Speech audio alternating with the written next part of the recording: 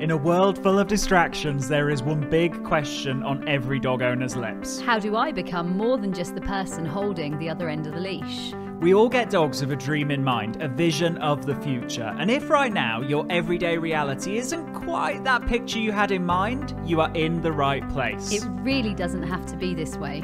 You absolutely can and will be more to your dog than just the person who gets in between them and the world. The key is you need to be more sexy. More sexy than the neighbourhood cats. More sexy than the jogger in the park. More sexy than that half eaten hamburger they just found on the floor. And yes, even more sexy than the dog across the road. I'm Tom. And I'm Lauren. Together, we're absolute dogs. And you're listening to the Sexier Than a Squirrel podcast.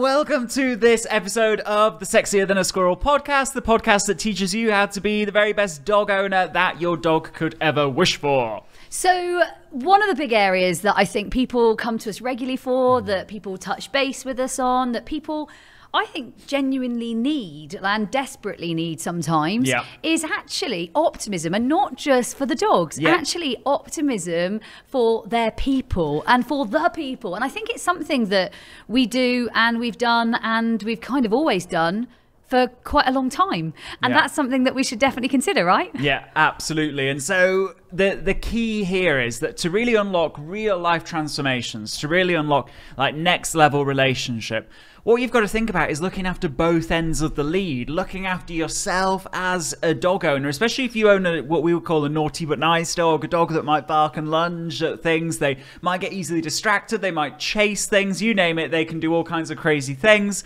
Um, you know what? You've got to look after yourself because that is going to allow you to get the momentum that you need to really transform their behavior for the better. So I think the the funny thing is, the comical thing in so many ways is that actually we train our dogs, we work on concepts, we think hard on concept training, and We we, guard our we- dogs. We we really guard our dogs, and we think about it. We're thoughtful about this. Mm-hmm. We understand that actually this is important, and yet we don't think about maybe concept training in ourselves. We don't Yeah. think about all of the concepts that we want to grow in our dogs. The fact that we sometimes want to guard ourselves. Actually, these things are relevant and they're real, and they're things we should be considering right now. Absolutely. So, with that, we've got some strategies for you that we've kind of developed and implemented over the years that really have allowed us to, um, you know, no matter what our dogs might throw at us and no matter what struggles we're transforming, actively kind of remain in a really happy, fulfilled, energized state so that we can really push on and really help our dogs even more. So,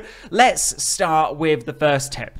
And the first tip is that just as we consider optimism in our dogs, you know, teaching them that when something new happens, when something gets thrown at them, they see it as a good thing, something to think that it's a non event, it's nothing to worry about. We need to actively grow that in ourselves, right? And that's something that we can grow in ourselves. I think that's hugely empowering Yeah. to know straight away.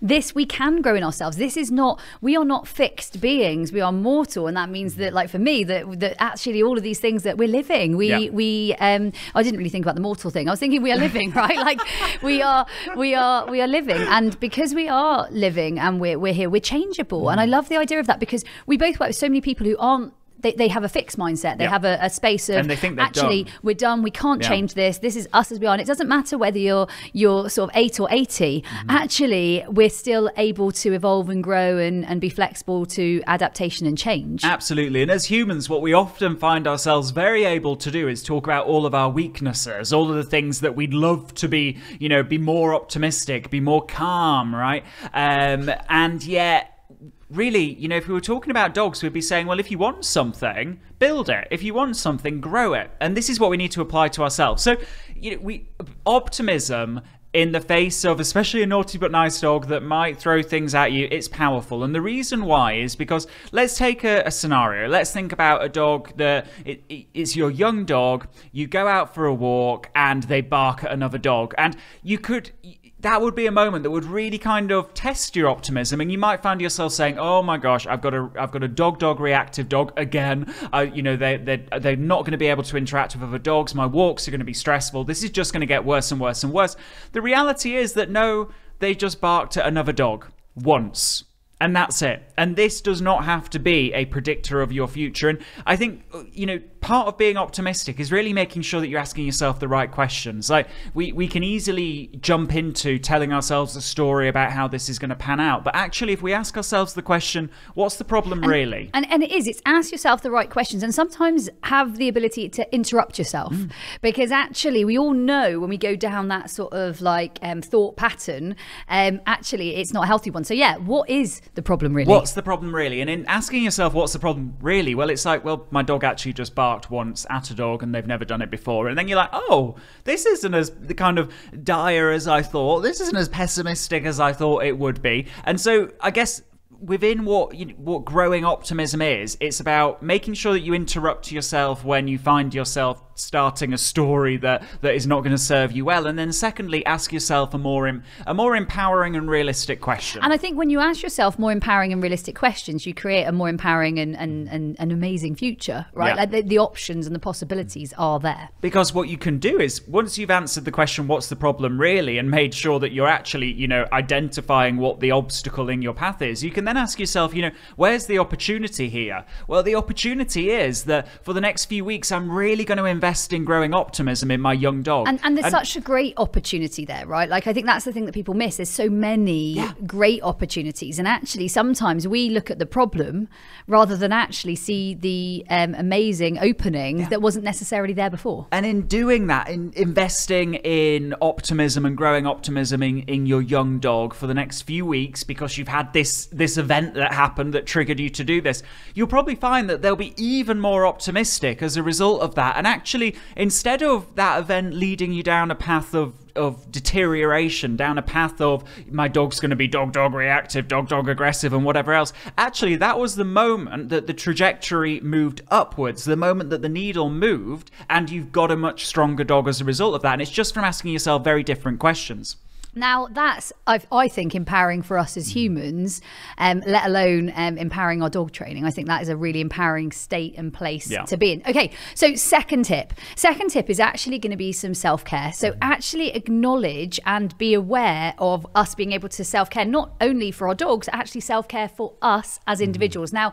both you and I are aware of this. Both you and I uh, acknowledge this. Lots of people say, "Oh my God, you guys have so many different things going on. You've got mm-hmm. AOK9, you've got Absolute Dog." Dogs, you have your own lives and family and, and mm. things happening. And yet you can still manage to do it all actually, I think one thing that people probably under acknowledge is the importance of self care. And self care doesn't have to be some big task like go to the spa for four days. I mean, it doesn't have to be some major yeah. thing that you can't you don't um, have to like change location or, or, handle. buy something it, new. It you might be it right now. Sit in the sunshine. Chance would be a fine thing, let's say mm. at the moment. But sit in the sunshine for five minutes and just top up your vitamin D. Mm. Or it could be as simple as cheers to life in the morning and drink a huge glass of water with lemon in it. Yeah. It could be something as simple as actually saying, right, seven o'clock, I'm done and I'm mm. cutting off right now. Like that's yeah. enough for me today.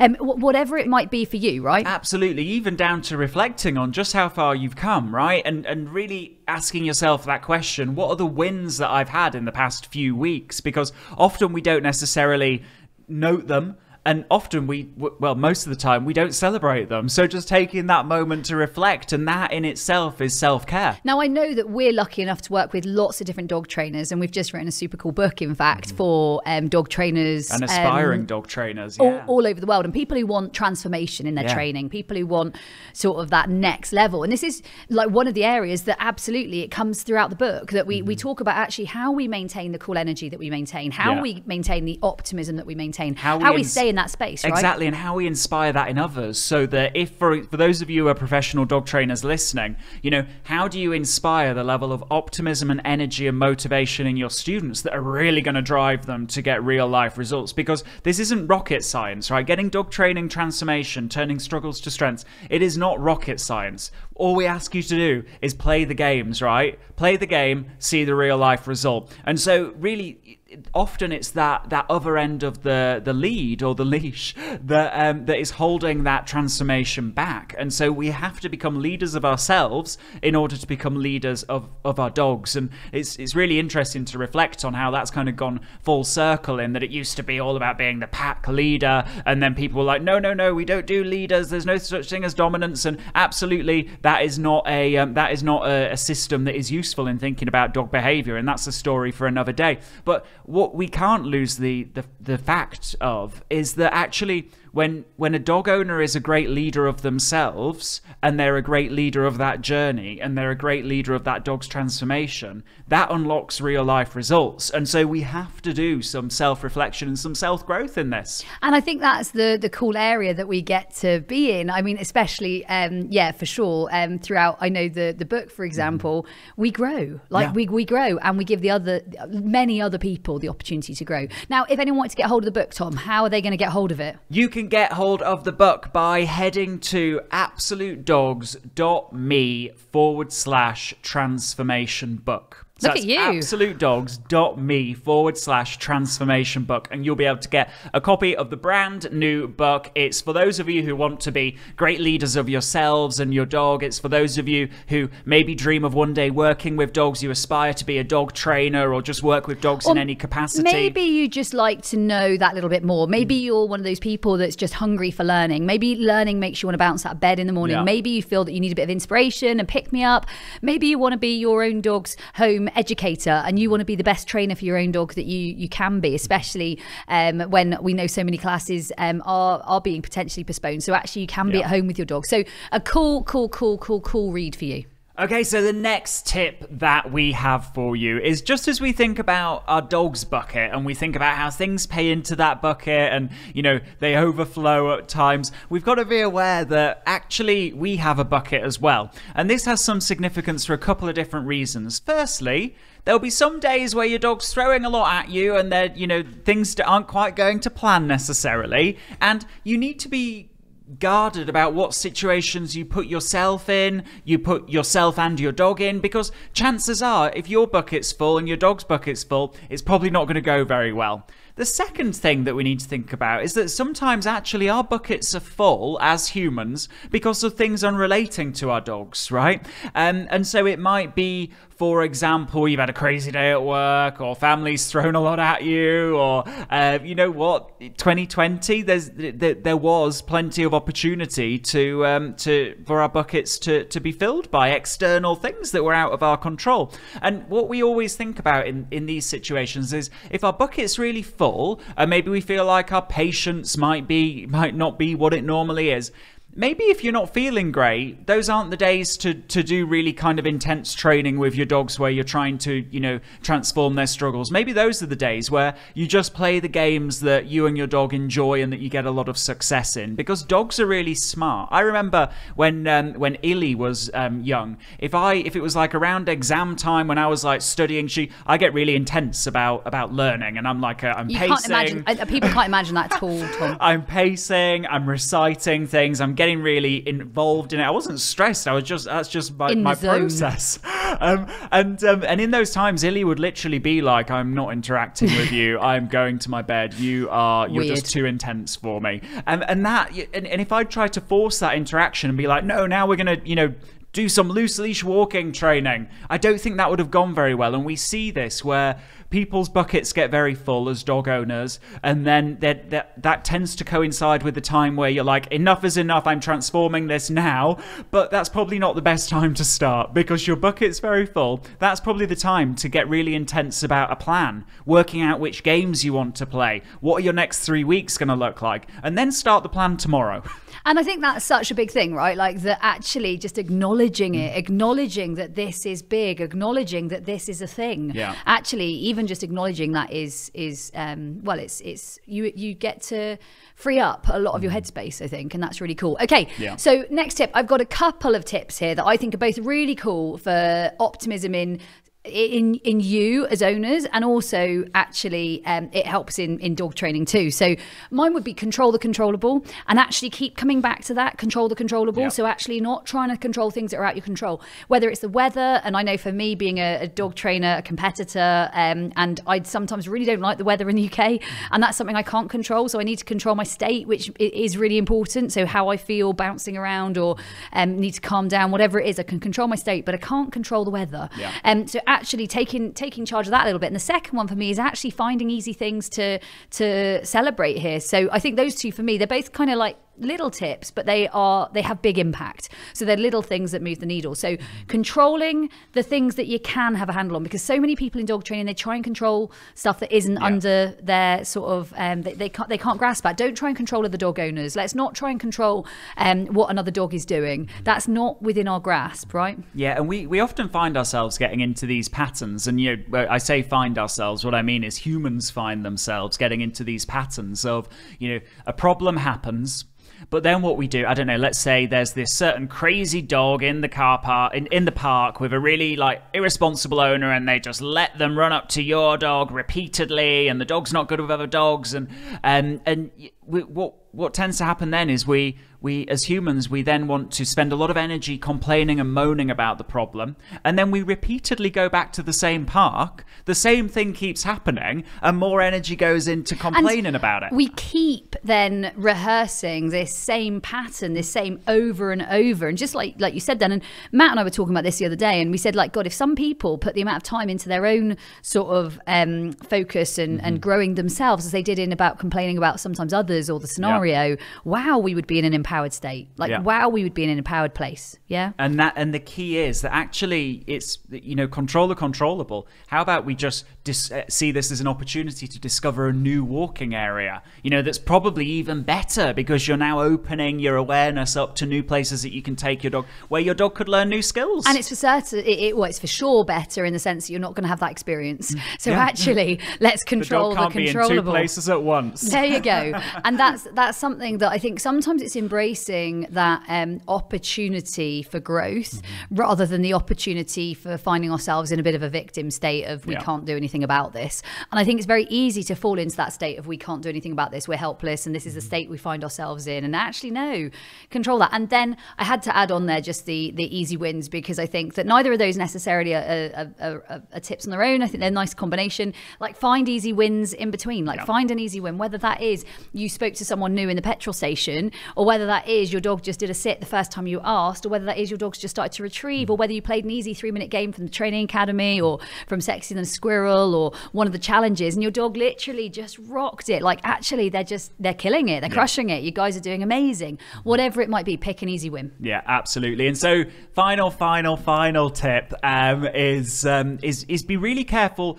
Uh, You uh, as game changers listening to this. You're very careful about making sure that nobody puts labels on your dog and that you don't put labels on your dog. Apply the same level of dedication and care to yourself. Don't put labels on yourself. Don't let other people put And labels on be you. Be careful about the language that you use because I think sometimes we give permission for someone to, to say something and then we wonder how that happened. So, for example, um, I'll always say that I'm busy, I'm busy, I'm doing stuff, I'm doing stuff. And, and people are like, oh, are, are you busy? And you can easily get into that, oh, I'm really busy. And I'm Yeah. like, yes, I'm busy and I love it. So be careful also of how you talk about yourself Yeah. and actually then how other others can interpret and then run with that. So for me, being able to interrupt it and say, no, actually, I like this. This is how I choose to be. Yeah, absolutely. And so an example might be, and we, we catch and kind of work with and coach people um, through this all the time.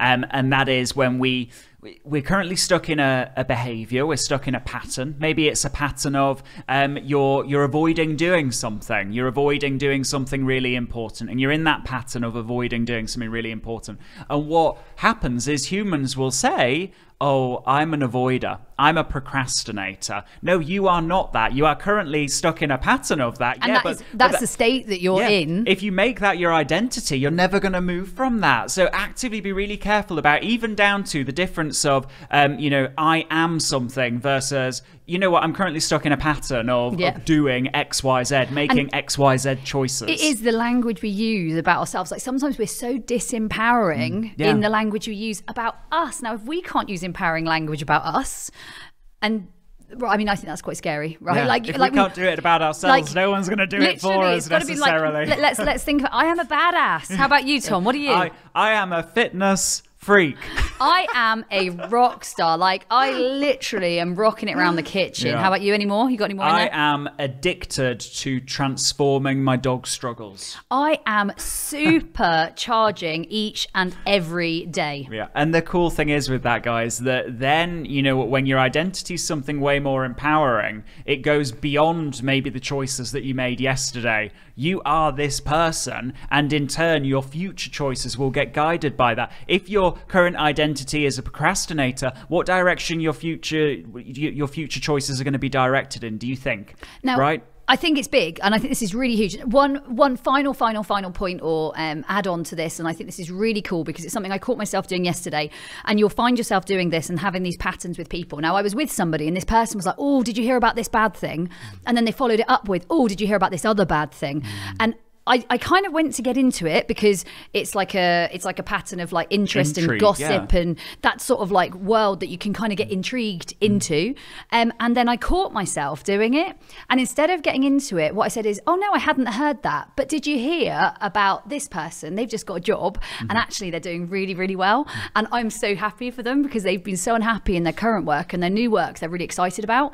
And I think that's really important that we Yeah. also find the conversations that we're in and decide whether we run with them or not. Because actually, do we want to live in that judgy, um, gossipy, sort of languagey place? And I think for me, that doesn't help my optimism. So, let alone that person's, it's actually directly affecting me. So, Yeah. having those answers like, um, no, I hadn't heard that. And what I did hear was this, and turning it into something more positive, or, oh, no, I wasn't aware of that. And this is where I am. So, actually, I think having those lines ready is very, very empowering. Yeah, absolutely. So, guys, as you can see, all of the things that we've just talked about, they're all things that we talk about in relation to your dogs and your dog training all the time. And yet, they're absolutely applicable to ourselves. And what we've got to do is we've got to apply the same level of dedication, the same high standards that we apply to how we interact with our dogs and commitment. It is commitment. And, and the other thing here, guys, is this is going to empower your whole year.